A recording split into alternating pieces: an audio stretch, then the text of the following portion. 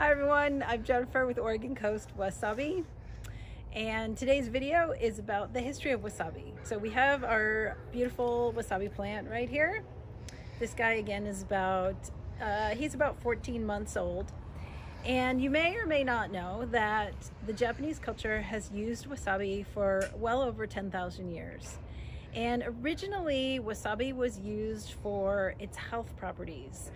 It was discovered that wasabi actually had anti-parasitic properties and antibacterial properties.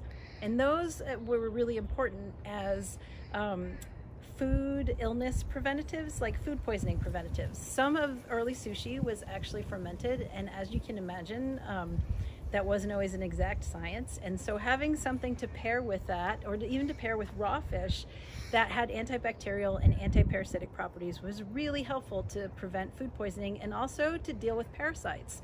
So they were actually using it to prevent or to protect against worms. Wasabi has been used for a number of its different health properties historically, and that includes the antibacterial and antiparasitic properties. It also has been used to treat various cancers, and it has anti-inflammatory properties, and some people actually have even used it in spa products. And there were some fun stories a year or two ago about how it actually can grow hair. So we're not saying that you should necessarily use it to try to grow hair, but it was a really entertaining story that came out in the media. And you always want to be careful where you put it.